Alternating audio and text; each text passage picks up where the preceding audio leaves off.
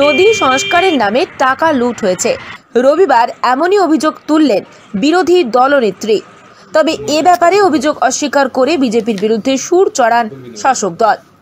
এদিন গারুই নদী সংস্কারের নামে দুর্নীতির অভিযোগ তুলে বিরোধী দলনেত্রী চৈতালি তিওয়ারির বক্তব্য। এই সংস্কারের কাজে বোর্ড মিটিংয়ে পঞ্চাশ লক্ষ টাকা বরাদ্দ করা হয়েছে। কিন্তু এখনও পর্যন্ত নদী সংস্কারে বর্তমান পুরো বোর্ডের কার্যকারিতা লক্ষ্য করা যায়নি।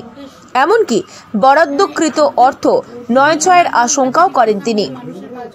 রবিবার সার্বিক পুরো পরিষেবা নিয়ে বর্তমান পুরো প্রশাসনের নেতিবাচক মনোভাবের অভিযোগে সোচ্চার হন বিজেপি তথা বিরোধী দলনেত্রী। এসবের প্রতিকার না হলে আগামী দিনে বৃহত্তর আন্দোলনেরও হুঁশিয়ারি দেন তিনি। তবে বিরোধী দলনেত্রীর এহেন অভিযোগের পরিপ্রেক্ষিতে তার প্রশাসনিক অজ্ঞতার কথাই তুলে ধরেন শাসক নেতৃত্ব। একই সঙ্গে খনি শিল্পাঞ্চলে বিজেপির ভবিষ্যৎ নিয়েও কটাক্ষ করতে বাদ দেননি তিনি।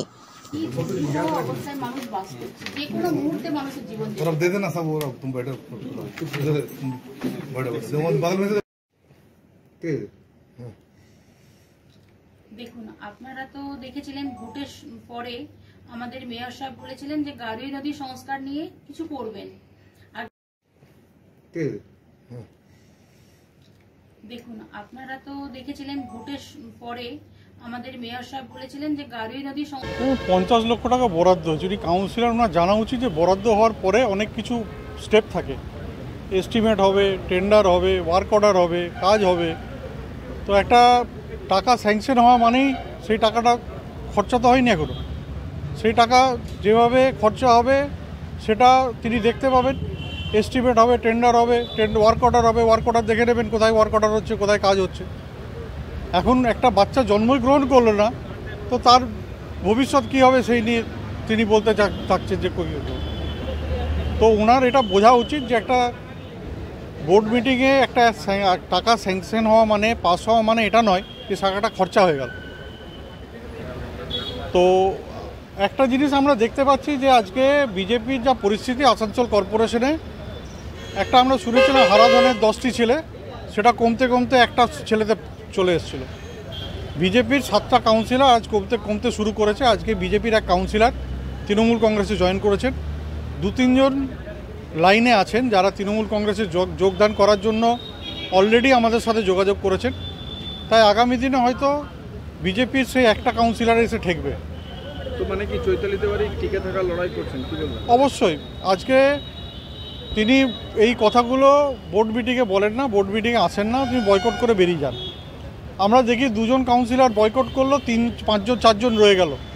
তো বিজেপি নিজেদের মধ্যেই ঠিক নেই। বিজেপির কাউন্সিলরদের মধ্যে নিজেরাই ঠিক নেই তো তারা এই কথাগুলো বলার তো কোনো জায়গায় থাকে না। আমাদের মেয়র সাহেব বলেছিলেন যে গারুই নদী সংস্কার নিয়ে কিছু করবেন।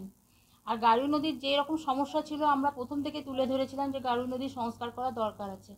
আজ রেলপাড়ে মানুষ যেভাবে মানে অসুবিধার সম্মুখীন হয়, সেটা দেখে কারুরই ভালো লাগবে না, যেভাবে ওনাদের ক্ষতি হয়।